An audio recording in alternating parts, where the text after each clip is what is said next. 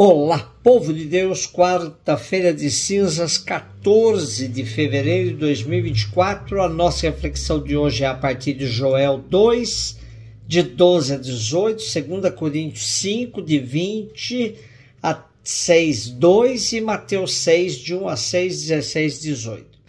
Agora diz o Senhor: Voltai para mim com todo o vosso coração, com jejuns, lágrimas e gemidos rasgai o coração e não as vestes, e voltai para o Senhor vosso Deus.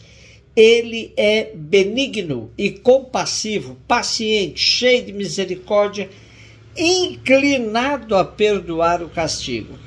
Quem sabe se ele se volta para vós e vos perdoa e deixa atrás de si a bênção, oblação e libação para o Senhor vosso Deus? Tocai trombeta em Sião, prescrevei o jejum sagrado, convocai a assembleia. Congregai o povo, realizai cerimônias de culto, reuni anciãos, ajuntai crianças e lactentes. Deixe o esposo seu aposento e a esposa seu leito. Chorem postos entre o vestíbulo e o altar os ministros sagrados do Senhor e digam: Perdoa, Senhor, a teu povo e não deixes que esta tua herança sofra infâmia e que as nações a dominem. Por que se haveria de dizer entre os povos onde está o Deus deles? Então o Senhor encheu-se de zelo por sua terra e perdoou ao seu povo. O livro do profeta Joel tem apenas quatro capítulos e 73 versículos.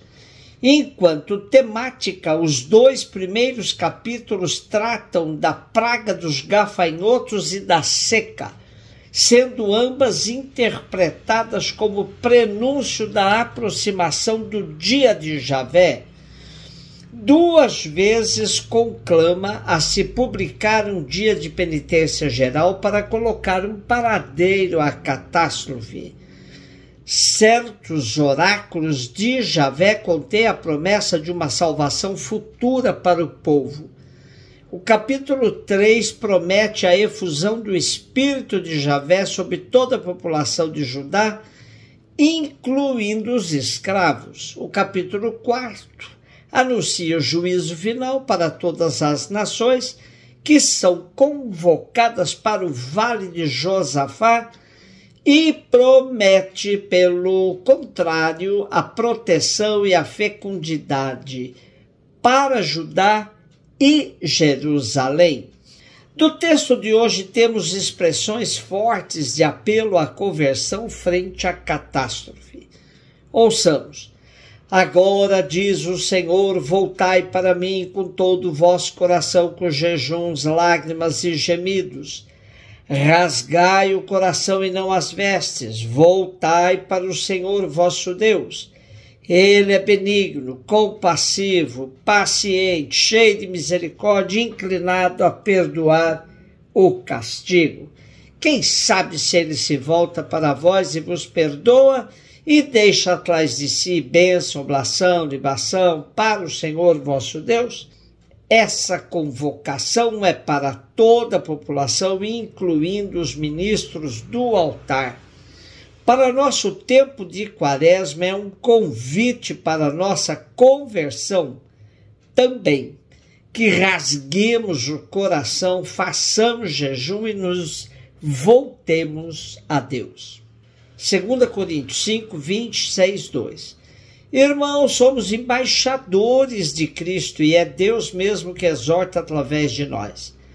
Em nome de Cristo, nós vos suplicamos, deixai-vos reconciliar com Deus. Aquele que não cometeu nenhum pecado, Deus o fez pecado por nós, para que nele nós nos tornemos justiça de Deus. Como colaboradores de Cristo, nós vos exortamos a não receberdes em vão a graça de Deus, pois ele diz: No momento favorável eu te ouvi e no dia da salvação eu te socorri. É agora o momento favorável, é agora o dia da salvação. dois temas importantes na pequena leitura de Paulo aos Coríntios: o tempo favorável, Kairos, e o deixar-se reconciliar com Deus.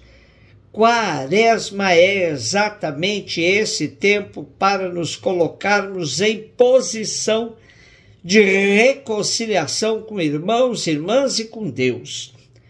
Precisamos estar atentos aos sinais dos tempos para não deixarmos passar as oportunidades que Deus nos dá para uma revisão séria de nossas opções e possível mudança de rumo na vida. Teremos 40 dias pela frente para fazer isso. Mateus 6, de 1 a 6, 16 e 18. Disse Jesus aos seus discípulos: Ficai atento para não praticar a vossa justiça na frente dos homens, só para ser desvistos por eles Caso contrário, não recebereis a recompensa do vosso Pai que está nos céus. Por isso, quando deres esmola, não toques a trombeta diante de ti, como fazem os hipócritas nas sinagogas e nas ruas, para serem elogiados pelos homens. Em verdade vos digo, eles já receberam a sua recompensa. Ao contrário, quando deres esmola, que a tua mão esquerda não saiba o que faz a tua mão direita, de modo que a tua esmola fique oculta, e o teu pai que vê o que está oculto te dará a recompensa. Quando orardes, não sejais como os hipócritas, que gostam de rezar em pé na sinagoga, nas esquinas das praças, para serem vistos pelos homens. Em verdade vos digo, eles já receberam a sua recompensa.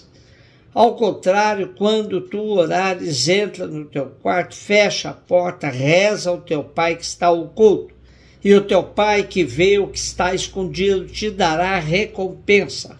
Quando jejuardes, não fiqueis com o rosto triste como os hipócritas. Eles desfiguram o rosto para que os homens vejam que estão jejuando. Em verdade vos digo, eles já receberam a sua recompensa. Tu, porém, quando jejuares, perfuma a cabeça, lava o rosto, para que os homens não vejam que tu estás jejuando, mas somente teu Pai que está oculto. E o teu Pai, que vê o que está escondido, te dará a recompensa. Este texto de Mateus está dentro do grande sermão da montanha, que compreende os capítulos de 5 a 7 deste evangelho. Esse grande sermão de Jesus nos coloca à frente às exigências da lei de Moisés. O cumprimento externo da lei sem a correspondente mudança de vida de nada vale. Por isso, Jesus toma a prática indicada pela lei e a interioriza.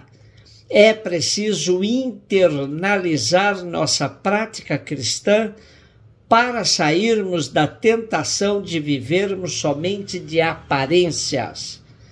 Esmola, oração e jejum são práticas saudáveis desde que as assumamos com o coração inteiramente voltado para Deus. Jesus repudiava a prática da religião dentro do espectro da ostentação. Quem age por melhor que seja a ação, esperando recompensa e elogios, recebe de imediato e caso encerrado.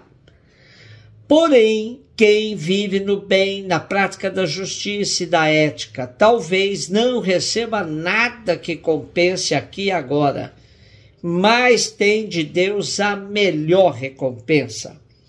Portanto, neste tempo quaresmal, caridade, oração, jejum podem ser práticas sadias, desde que sejam feitas segundo a própria consciência e na discrição. Muitas vezes os cristãos ficam desorientados quanto à forma de viver melhor a realidade espiritual da quaresma.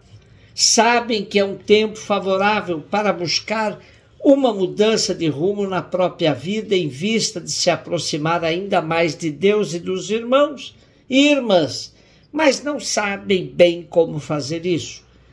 No Brasil, desde 1964, a Igreja nos propõe gestos concretos para que a penitência saia do campo da boa vontade e sirva para nos indicar rumos novos. Neste ano, a campanha da fraternidade tem como tema Fraternidade e Amizade Social e como lema Vós todos sois irmãos e irmãs. Tomando o texto do profeta Isaías, que recomenda alargar a tenda para que nela caibam todos, sobretudo os excluídos, a campanha propõe cultivar, por meio da oração, da caridade e do jejum, um relacionamento sadio e construtivo que contagie toda a sociedade para uma real amizade social. Um beijo no seu coração.